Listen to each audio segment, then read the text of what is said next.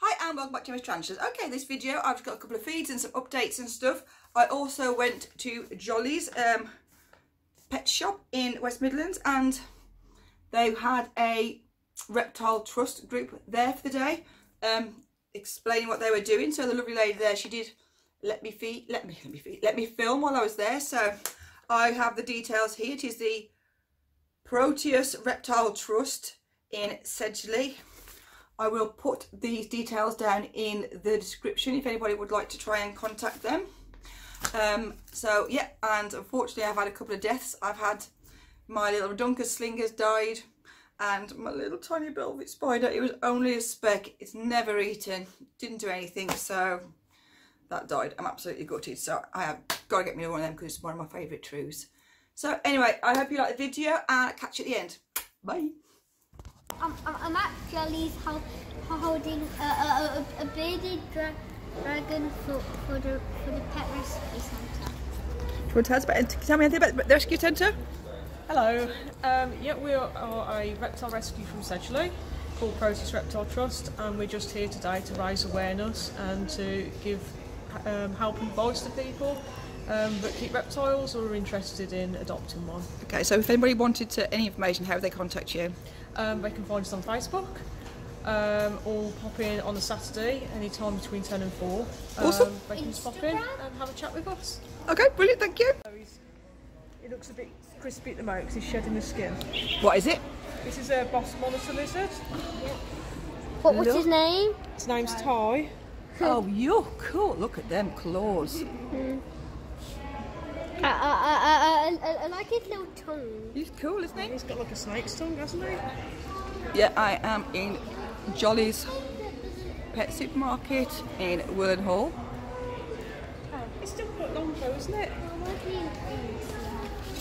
But he uses his tongue to hunt as well. Yep, and and, So- and and smell. Yeah, he uses it to smell. Okay, my Lucas has number two has molted. So it's been a while now, so I am going to see if he wants a squirmy wormy.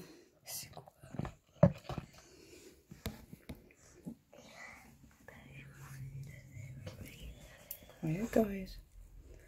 I can nudge that a little bit closer to his lair. Sorry, it's very annoying. He looks bigger than, than I expected. Who? The worm or? Uh. Yes.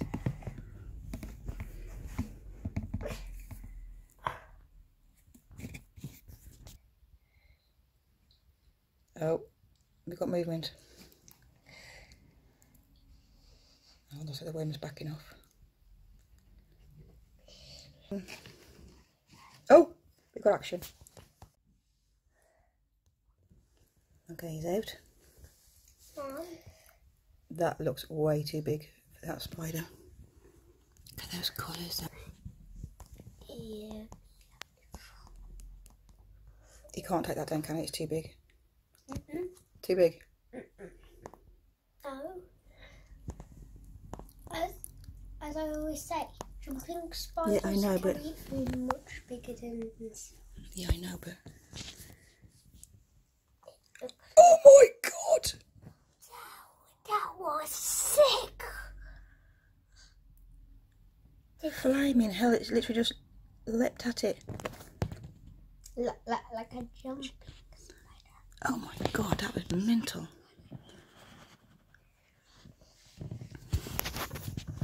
Look, look at those those iridescent fangs now. It, it it's it's like a purpley colour.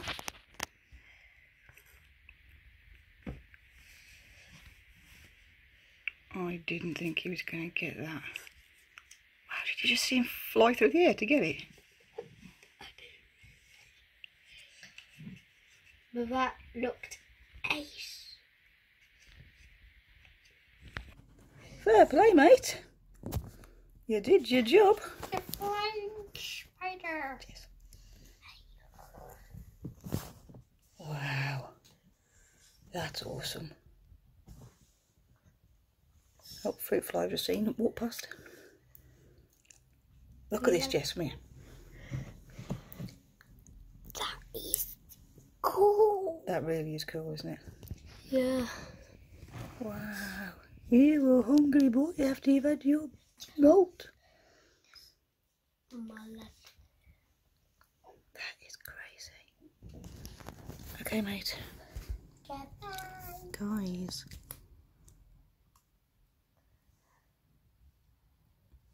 That reminds me, I need to finish my um, jumping spider painting that I've only done half of. That is mad.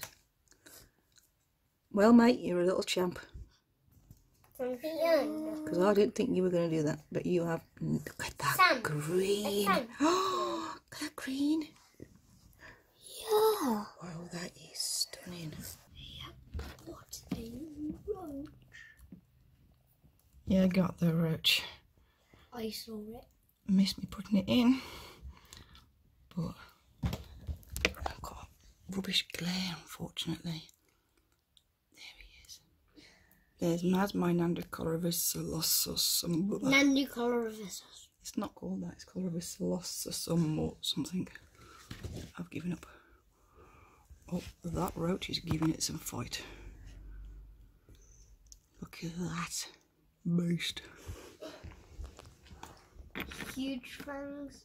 Wow, The roach juice. yeah. You're pretty though. Razor sharp fangs. The versus Cheers. kicking legs. Look at that. You are a monster.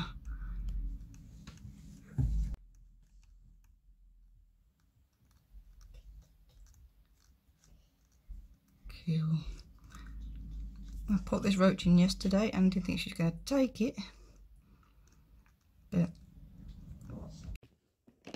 Right, okay. The millipede enclosure that I set up. Um, I've got two Somebody's that have buried themselves away somewhere, and the other one is in over there. Can you see it, Jess? It's in there. You, you, you might see cucumber. Try and keep it still. Right, but basically I've been told that the snails... Giant African land snails. Can't go in here, so until they get bigger, I'm going to put them in here, but... Oh my god, that's gross. How the hell do I get you off? Uh, I, I, I, I, I told you it would be a bit of a challenge. We'll give it a baby. There you go, mate. Okay, there's one in. One in over there. Okay, Okay. let me try and get this second one. I know, mate. I know, I know. I know, I'm trying to be as gentle as I can. And I'm going to put you over here next to your mate. Right, this is what I've read. Somebody did suggest to me that this could happen. I'm just going to put you in there with your cuttlefish. Come on, missus. Is already a bit of Yeah, I know, that's for the the millies. So, there you go, and mate. roaches. have your cuttlefish because at the moment in here it is just getting covered in oh, motorbike going past snail poop that is becoming a nightmare to maintain but my thinking is it's because in here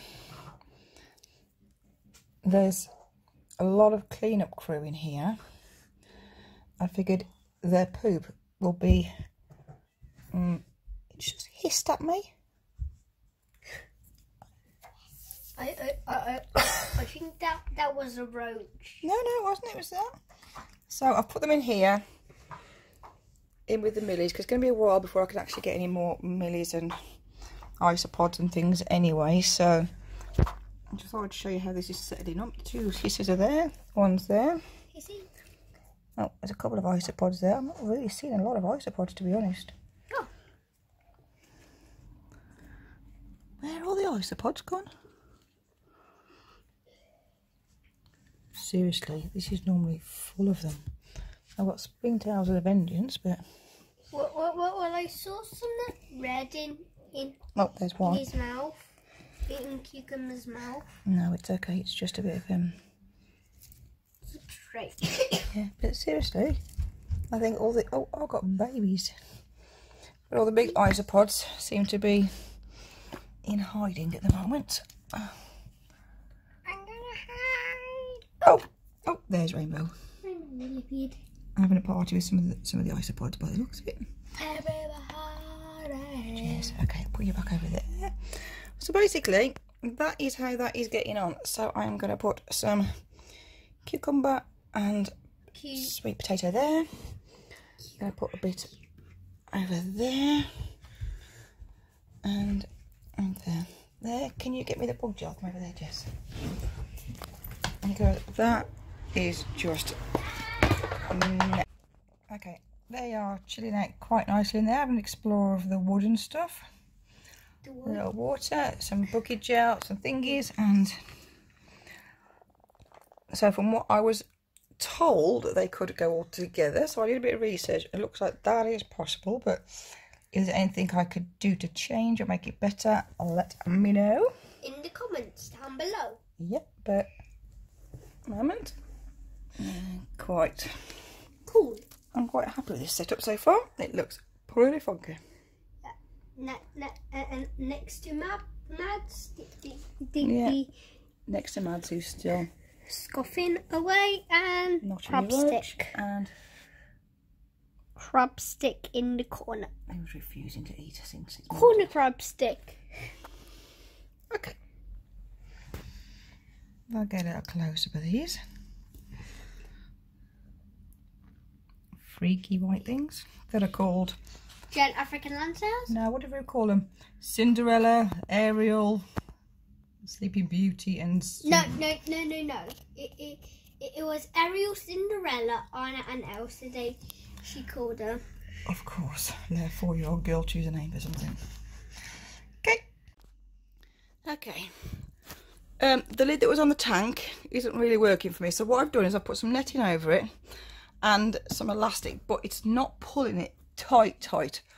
So I have put some like slabs on top of it for now, but I can show you underneath here the snails already trying to go on, and my concern is that if it presses on it, it's going to pull the netting in.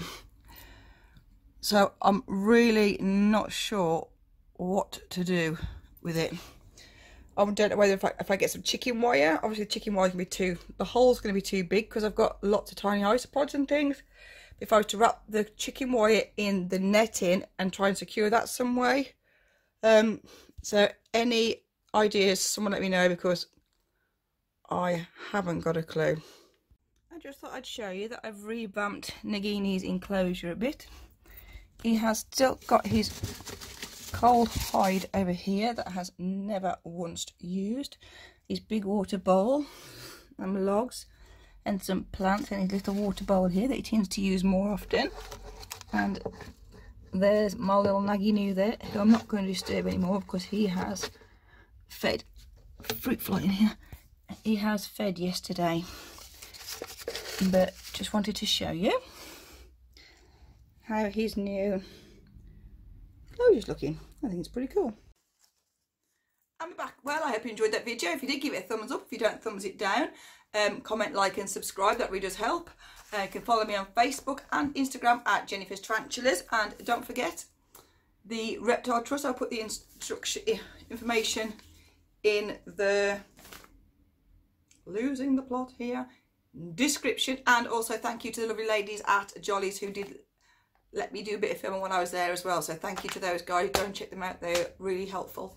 Anyway guys so I will see you in the next video. Bye